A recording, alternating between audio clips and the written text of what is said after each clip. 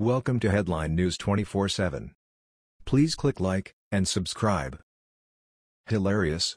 All Nike uniforms are being removed in bold move, team embarrassed to wear the logo. Nike is getting all kinds of blowback over the Colin Kaepernick Just Do It ad campaign. Their stock is plummeting and Americans are burning their Nikes in protest over the social justice movement.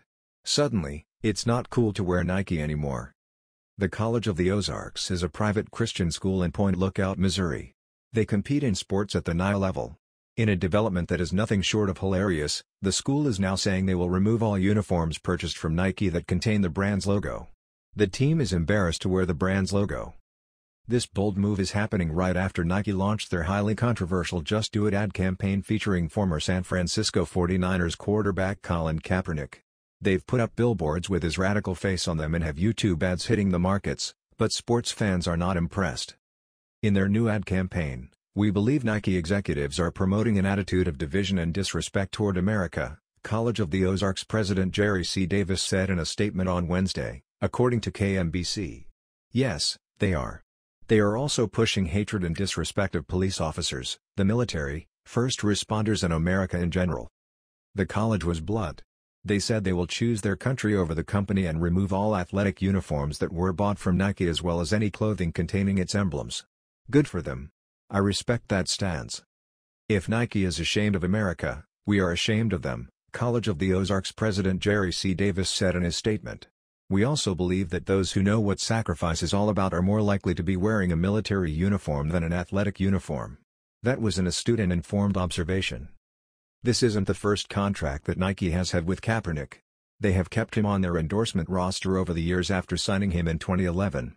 It's just that now he will make millions more in the deal as they launch a clothing and equipment line in honor of the Black Lives Matter supporter.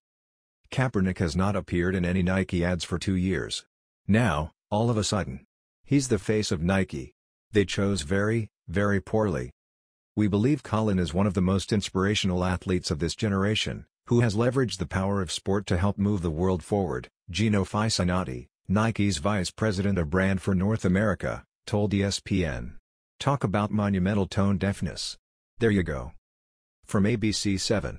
A source with knowledge of Nike's contract with Kaepernick told the Associated Press that the company will feature Kaepernick on several platforms, including billboards, television commercials and online ads. Nike also will create an apparel line for Kaepernick and contribute to his Know Your Rights charity. Kaepernick is suing the NFL for allegedly colluding to keep him out of the league. An arbitrator sent Kaepernick's grievance with the NFL to trial, denying the league's request to throw out his claims that owners conspired to keep him out of the league because of his protests of social injustice. Kaepernick began a wave of protests by NFL players two seasons ago, kneeling during the national anthem to protest police brutality and racial inequality. The protests have grown into one of the most polarizing issues in sports, with President Donald Trump loudly urging the league to suspend or fire players who demonstrate during the anthem. I don't see how you can blame the College of the Ozarks for dropping Nike. They see it for what it is and no brand is more important than the love of country or the respect for those who serve this nation selflessly every day. They sacrifice everything. Kaepernick sacrifices nothing. The campaign is incredibly hypocritical.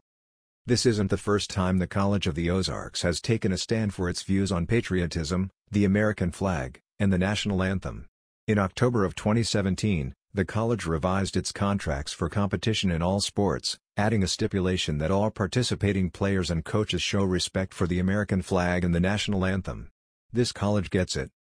Dr. Marcy Linson, Vice President of Patriotic Activities and Dean of Admissions at the college, oversees patriotic activities and safeguards the college's patriotic goal, to encourage an understanding of American heritage, civic responsibilities, love of country and willingness to defend it.